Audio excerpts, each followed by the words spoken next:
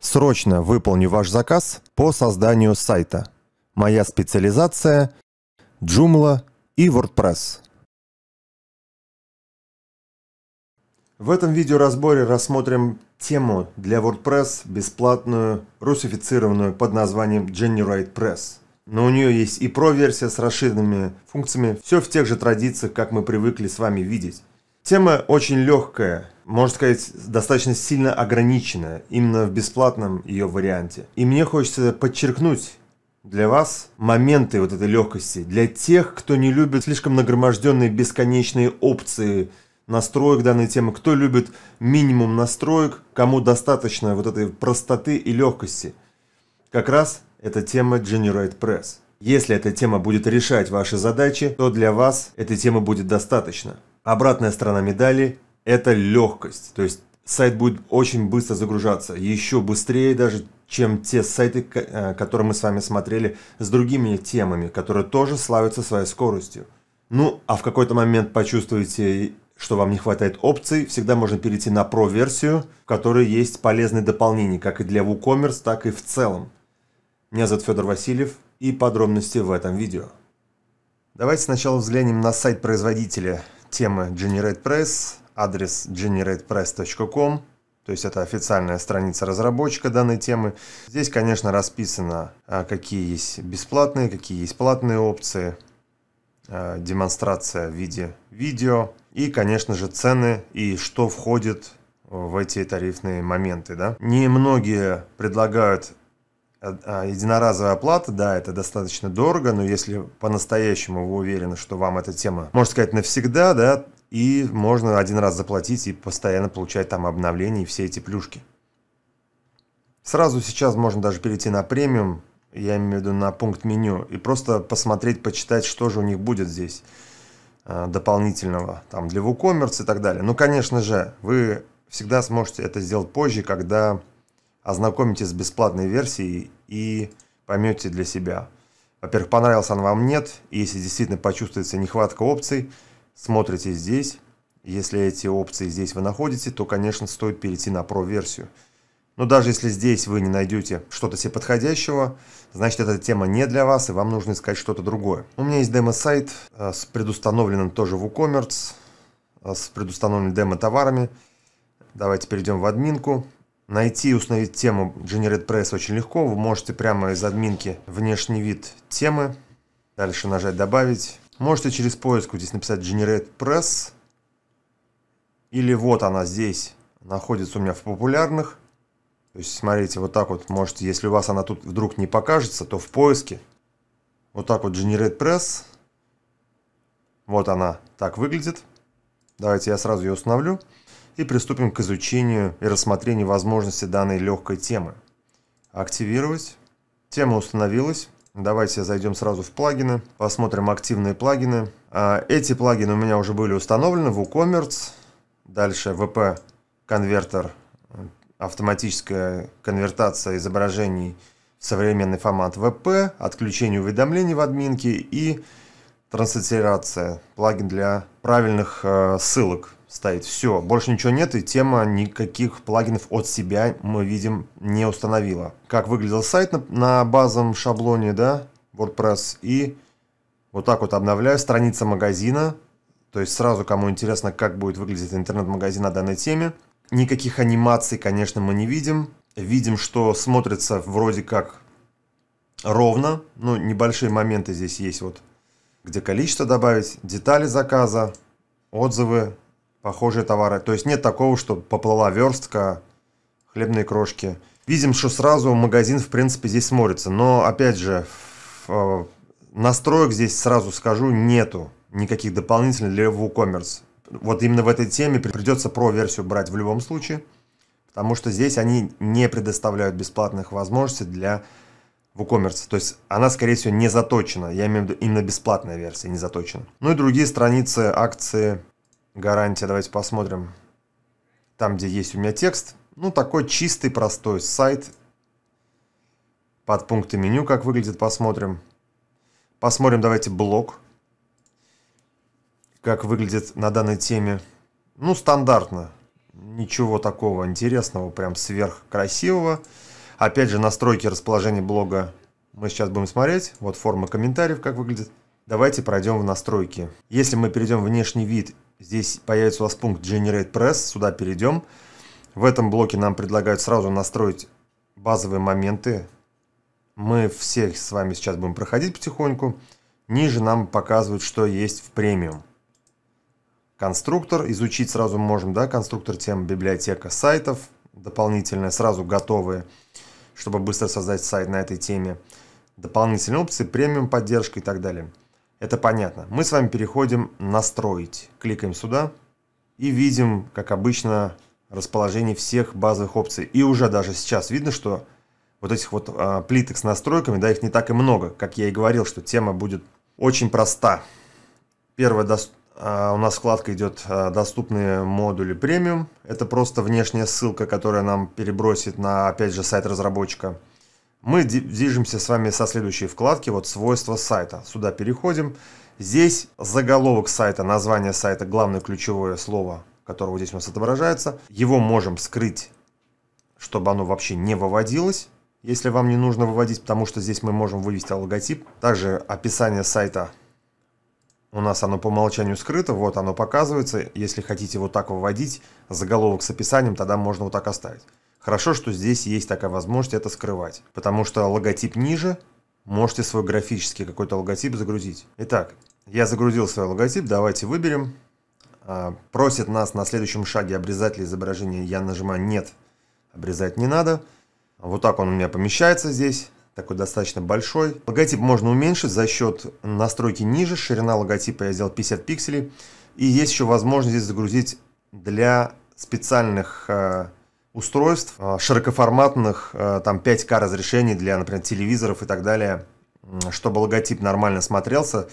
А, высококачественный свой логотип. Но даже если вы вот, вот этот логотип у вас в SVG формате, векторная графика, это значит, он не будет терять в качестве при любом масштабировании. Значит, и сюда можно не загружать изображение. Или какой-то специальный логотип, возможно, с очень высоким разрешением, с высоким качеством. У нас здесь есть возможность сюда его загрузить. Дальше иконка сайта. Но это иконка favicонка. Нам говорят, что 512 на 512 но я воткну просто...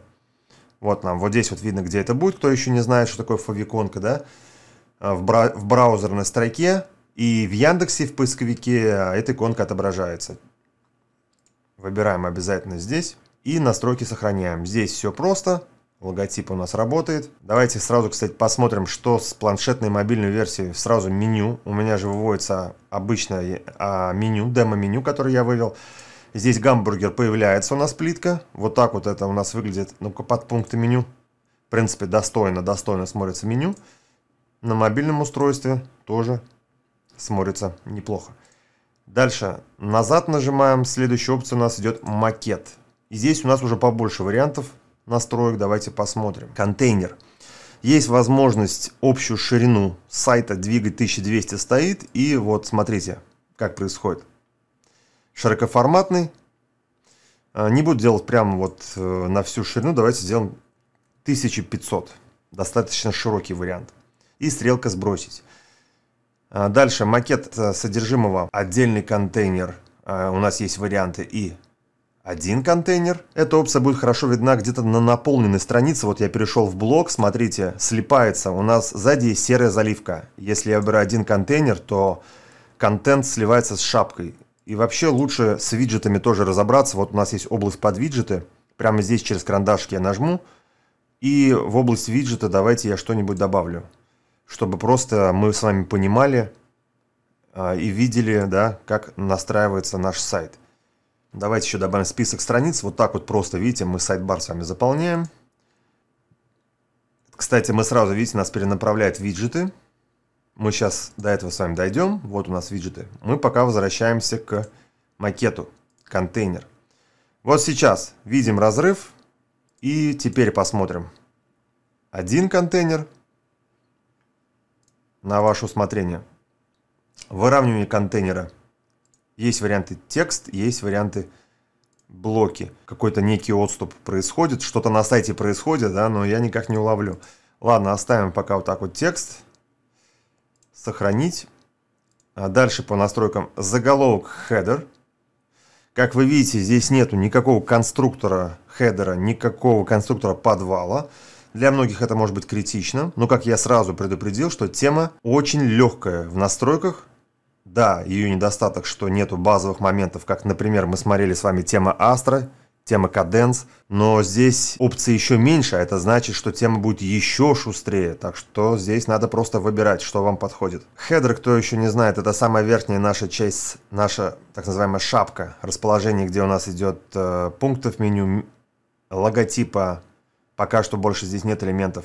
И здесь вот просто смотрим, у нас, например, классически, идет просто различное выравнивание, то есть меню, например, под логотипом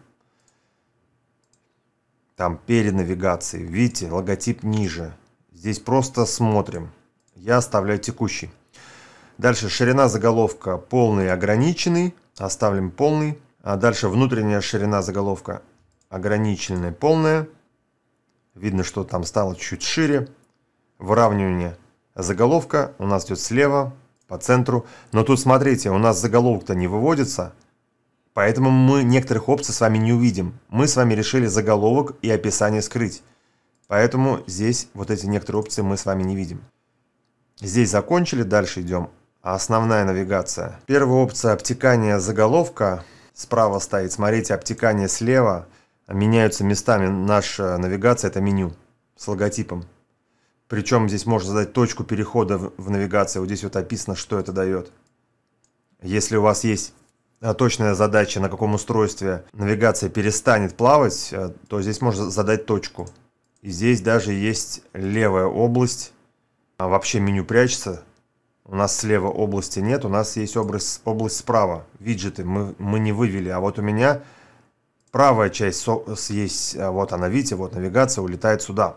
И появляются сразу дополнительные опции. Давайте я оставлю обтекание, как было. Раскрывающаяся навигация, наведение – клик по пункту меню, клик по стрелке. У нас есть такая стрелочка, вот специально я вывел под пункты меню. Кому нужно сделать клик по стрелке, чтобы прям четко нажимали. Видите, я навожу мышь, уже не всплывает, то есть работает. Кликаю по стрелке, а по клику по пункту не всплывает, по стрелке работает. Вот смотрите, даже есть такие тонкие настройки. Конечно, э, наведение не надо делать по клику, потому что лишнее нажатие клика, но это здесь неправильно. Направление раскрытия. Смотрите, у нас стоит справа, можно еще сделать слева. Поиск, навигация у нас отключено, но мы можем включить. Хотите, чтобы поиск использовался, появляется иконка поиска. Вот так вот это появляется. Давайте сохраним и сразу проверим, как работает данный поиск. Поищем по слову, например, Sony. Давайте я обновлю фронтальную часть сайта. Вот так вот теперь это выглядит. Широкоформатный такой вариант сайта поиск достаточно симпатично выглядит. Sony, причем подсказка даже всплывает. Кликаю по подсказке, Enter. Находит аппарат и находит другие. Всего 4 записи у меня есть. И он их находит. Причем он ищет и в блоге, и ищет в интернет-магазине. Вот, например, если я сюда провалюсь, я попадаю в карточку товара. И, кстати, Хоть и просто, но я вам так скажу, когда мы уже видим наполненность, видим сайт-бар, чисто, светлый, быстрый сайт. И симпатично смотрится даже WooCommerce. Да? Вот они миниатюры. Э, по дизайну все просто, но смотрится нормально. Ничего никуда не улазит. Да, немножко здесь есть моменты мелкие, прям мелкие CSS-доработки. Например, прижимаются к границе у нас вот эти вот атрибуты. Но я думаю, что это можно все легко поправить через CSS. Отзывы, посмотрите, как шикарно выглядят. То есть с рамочкой. Прям вполне-вполне себе. Итак, немножко стал отвлекаться. Давайте движемся с вами дальше. Поиск я оставляю. Дальше идет у нас область виджетов. Здесь вы решаете, где сайт-бар с виджетами будет отображаться. Смотрите, разметка области виджетов. Содержимое области виджетов. Содержимое без области виджетов. Выбор потом для блога и для записи. Чтобы понимать, что за вот эти содержимые, мы с вами перейдем в внешний вид виджеты, где мы только что с вами добавили два виджета. Это у нас первая область виджета. И от этой темы есть такие варианты. Видите, левая область виджета, ничего не задано. заголовок, то есть мы можем вставить что-то в заголовок, в хедер, например, телефон добавить, виджет подвала 5 штук, панель подвала, верхняя панель, неактивные виджеты. Опять же, надо размещать виджеты сюда, чтобы, ну, например, вы не понимаете, где будет верхняя панель. Да? Виджет добавили, посмотрели, где это. И вот, исходя из этого, вам станет понятно, где какой виджет в какой части сайта будет отображаться. И здесь вы это решите. Я движусь дальше. Подвал футер. Это самая нижняя часть сайта, где у нас есть пока копирайт от GeneratePress. Ширина подвала полный, ограниченный. А видно, что она действительно ограничена. Сзади видно по краям серая область, заливка сайта. Я оставляю полный. Внутренняя ширина подвала также ограничена полный. Виджеты в подвале. Сколько элементов от 0 до 5 вы хотите. То есть, например, 5 контейнеров задать, чтобы поместить 5 виджетов э, виджеты подвала. У нас есть пока только 3. Давайте сразу виджет подвала проверим с вами. Просто я вставлю, например, виджет подвал календарь. Виджет подвала я вставлю список страниц. И в третий вставим что-нибудь еще. Например, какое-нибудь изображение. Пускай будет мой логотип. Сохранить. Посмотрим на фронтальную часть сайта. Вот три области я вывел, чтобы вы понимали. Календарь, меню, логотип, ну и все что угодно в подвал вы можете вот так вот вставить. Дальше кнопка наверх даже есть. Полезная вещь, если у вас длинные страницы. Включаем. Появляется стрелка без настроек. То есть ни дизайн, ни стрелку не поменять. Но она работает, как я сказал, все просто, никаких лишних опций. Дальше у нас настройка блога. А, давайте сразу я здесь перейду в блог. То есть отрывок это анонс записи блога. Так и должен выводиться блог, но есть вариант э, по всей ширине выводить. Не знаю, что это за такой за перевод. У нас прячется анонс текста, остается картинка. Ну и есть дополнительные возможности в Pro-версии. Я оставляю отрывок. Получается отображать блок с отрывком, часть текста, да, анонс именно. По всей ширине здесь должен быть перевод, наверное, без отрывка. То есть отображать без отрывка, потому что прячется только текст. Движемся дальше. Здесь настройки в макете мы с вами прошли. Переходим цвет. Здесь даже есть заготовленная цветовая палитра, которую вы можете менять под себя. Достаточно богатая. Даже вот наводя мышь на синий, например, видите акцент. Акцент это главный цвет сайта, где помещаются у нас многие элементы. Ссылки синие, кнопки синие, вы это видите. Дальше белый и серый цвет, да? То есть прямо отсюда акцент хотим сменить, например, какой-нибудь вот такой, то сразу видите, все ссылки стали а, такие вот фиолетовые, мы полностью поменяли акцент. Вот эти моменты, там ссылки на оставить комментарий, категория – многие, то есть весь акцент сайта мы сменили буквально вот здесь. Дальше по плюсу добавить глобальные цвета, дополнительные можно или по крестику вот так удалить. Те цвета, которые здесь заданы, просто наводите мышь, контакт, они все помечены. Например, сзади хотите фон чуть потемнее, да, кликаем вот сюда вот. Видите, я делаю темнее, и задний фон будет чуть темнее. Здесь просто надо поиграться, посмотреть, какой цвет вам больше понравится. А дальше, ниже, у вас также есть возможность поменять цвет каждому элементу. Основная часть, смотрите, она раскрывается. Фон меняем. Выберите цвет, текст, ссылки. То есть у нас при наведении ссылки темные. Пускай будет тоже фиолетовый, но только темнее. То есть вот я навожу мышь, и теперь они уже не коричневые, а просто темно-фиолетовые. Также заголовок header, многие элементы. Видите, шапку сайта отдельно можно покрасить. основная навигация, поиск навигации, фон. Давайте посмотрим. Я провалюсь, э, например, в статью. Вот у нас кнопка «Оставить комментарий» серая. Первый цвет.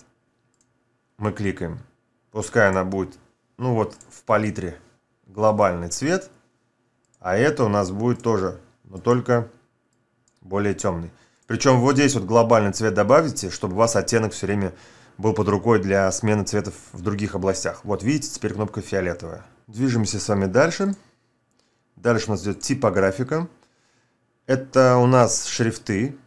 как здесь работает? Смотрите, менеджер шрифтов. Нажимаем «Добавить шрифт», появляется дополнительная опция. Нам нужно выбрать шрифты. У нас есть системные шрифты, э, стандартные Arial, там, Georgia и так далее, и шрифты Google.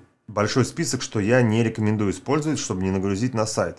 Плюс надо еще узнать, чтобы эти шрифты поддерживали кириллицу, русский язык. Со шрифтами здесь, если надо заморочиться, наверное, либо Pro-версия, GeneratePress сайт, либо, возможно, бесплатный плагин по замену шрифтов. Но нужно будет разбираться, как он будет работать с этой темой, отдельный плагин.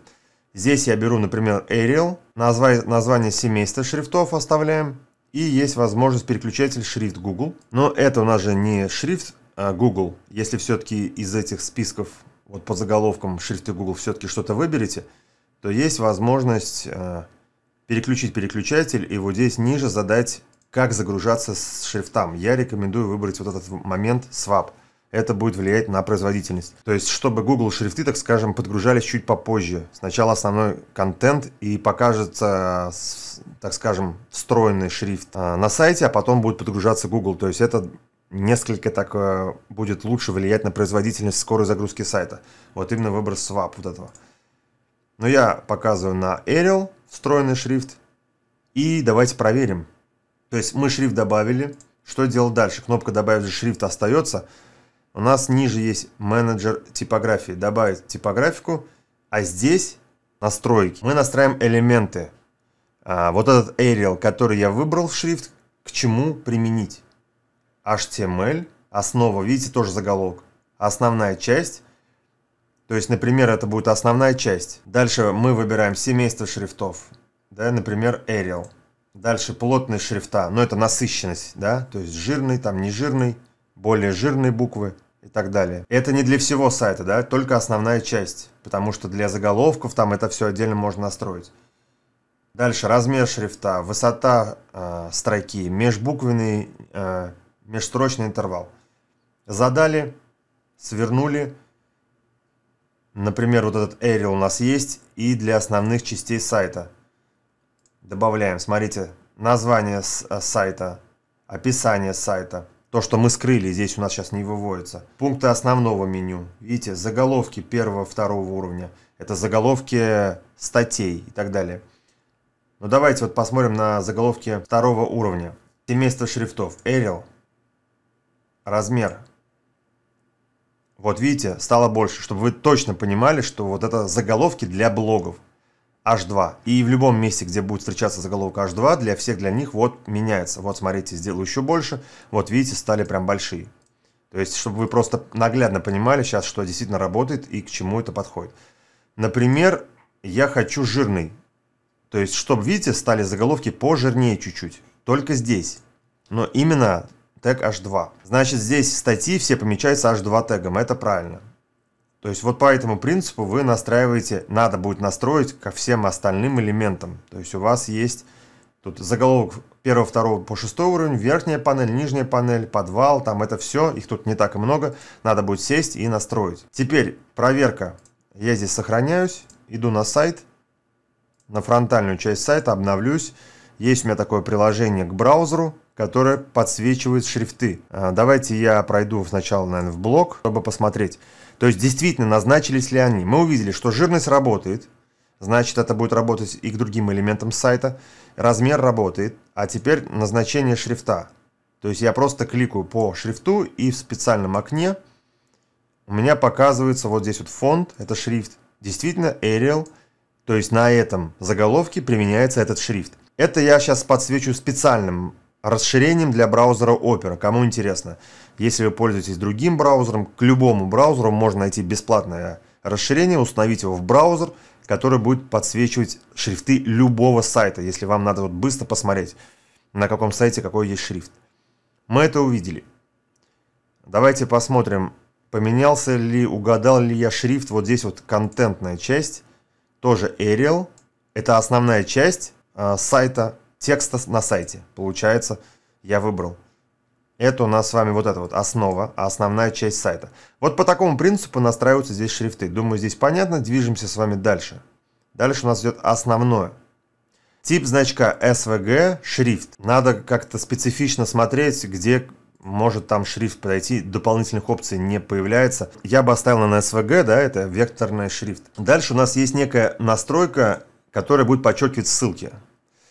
А, например, вот в сайт-баре есть меню. Я навожу, видите, подчеркивается. Причем вот это меню не подчеркивается наше основное. Это то же самое меню. Вот вообще ссылки подчеркиваются. Либо не при наведении. Значит, подчеркнуты всегда. Видите? Всегда автор, оставить комментарий, вот эти ссылки, они все подчеркнуты. Или никогда не подчеркивается, на ваше усмотрение. И стоит галочка кеширования динамических CSS для повышения производительности. Конечно, галочку оставляем, чтобы сохранять скорость загрузки страницы. Дальше следующее у нас идет меню. Здесь подробно останавливаться не будем, но это штатные настройки всех меню. Здесь просто можно назначить меню, а это меню создается в корневой консоли WordPress. Здесь понятно, я думаю.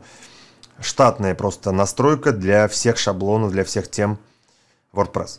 Дальше виджеты Здесь мы с вами посмотрели, если изначально у вас не получилось в подвал виджеты разместить, они у вас здесь не появились, вот здесь как раз вам это удастся сделать. Здесь просто у вас будет пустая область, например, отсюда можно добавить любой виджет, как и из консоли, так и отсюда. И для других частей сайта. Дальше. Настройка главной страницы.